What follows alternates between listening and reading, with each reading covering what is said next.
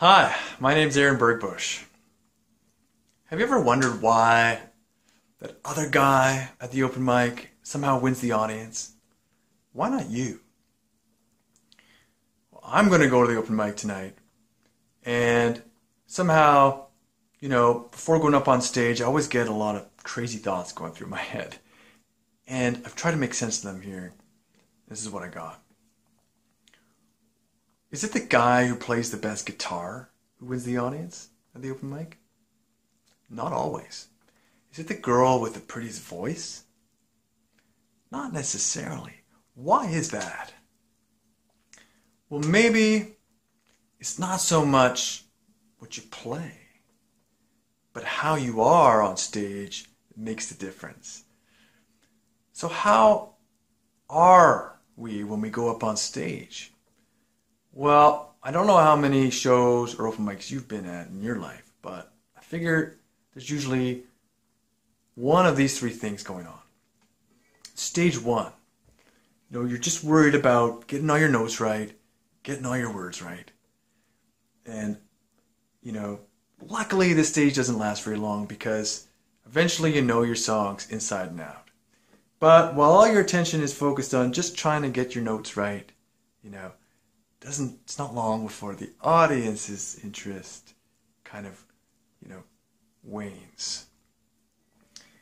Stage two is is the biggie though, because this is where I think a lot of us get stuck, you know, and this is where you go up on stage, and and it's all reflection on you and your worthiness.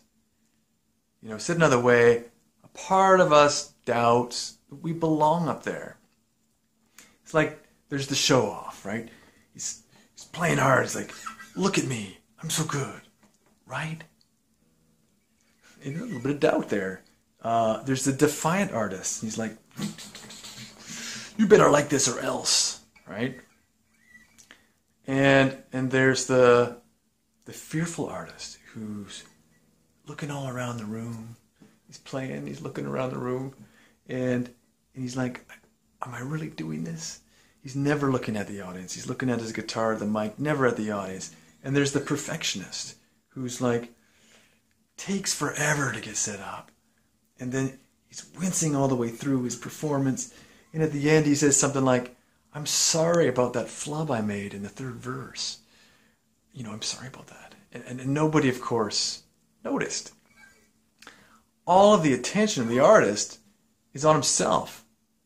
And it's all an exercise in self judgment. And all of that self judgment is totally getting in the way. For the audience, without even realizing why, it's all just, it's just kind of boring. Stage three is the Holy Grail.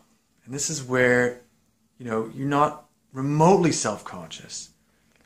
And you're genuinely interested in the people in the audience and how they are all your attention's on them.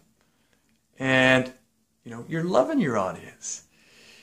You know, the show is not so much for show, it's it's for something greater. Something greater is going on.